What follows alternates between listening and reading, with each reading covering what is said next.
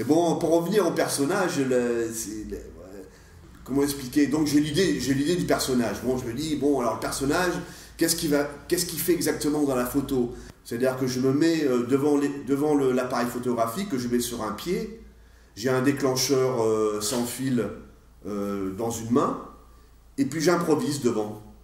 J'improvise devant l'appareil, debout, assis, allongé, à l'envers, enfin bon, j'essaye plein de choses. Et puis, donc ça, ça, dure, ça, ça, dure, ça peut durer plusieurs jours, parce que des fois, c'est, j'arrive pas à trouver, quoi.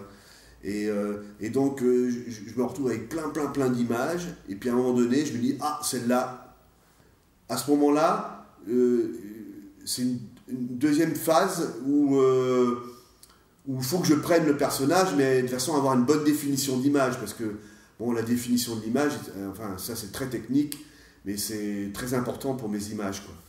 Donc euh, je, je, je, fais une deuxième improvisation, mais restreinte, c'est-à-dire sur, sur l'idée que j'ai choisie. Donc à ce moment-là, je, je fais des photos prendre que du visage, où j'essaye d'amener plein d'expressions différentes. Donc euh, après, euh, je prends euh, le corps et après, bon, bah, je, fais, je fais un mix avec tout ça.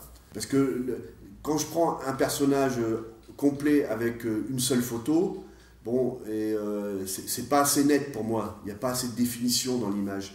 Donc c'est pour ça que je prends le personnage avec plusieurs photos que je rassemble ensuite comme ça, j'ai un, un piqué vraiment optimum. Quoi. Quand il y en a 26, comme dans El Publico par exemple, parce que je crois que c'est 26 personnages dans, Les, dans, Les, loges, si c'est 27, comment ça se passe ça? C'est la même chose que je viens d'expliquer, mais pour chaque personnage. Quoi. Viens voir les comédiens, voir les musiciens, voir les magiciens qui arrivent, bien voir les comédiens. Voir...